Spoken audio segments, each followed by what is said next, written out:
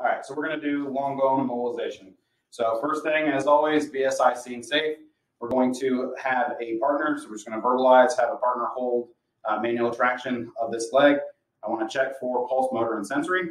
Once I have that, I'm going to measure the splint, make sure that the splints I'm using aren't gonna be long enough. So we're gonna lay those next to the patient's leg. We are then going to use some triangle bandaging, and we are going to splint the injury above and below. Want to make sure that you minimize the amount of movement to the area, and that you're also not going over the knee.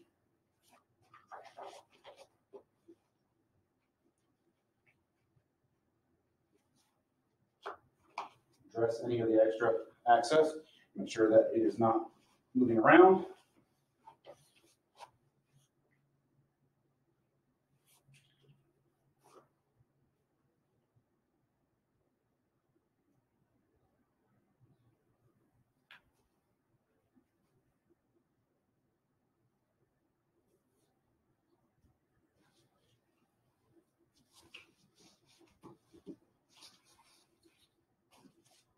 Do want to secure the lower leg as well.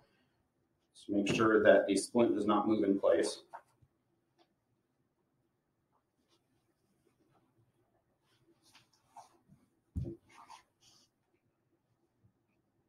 So once we have that, we want to make sure that the leg is in the neutral position.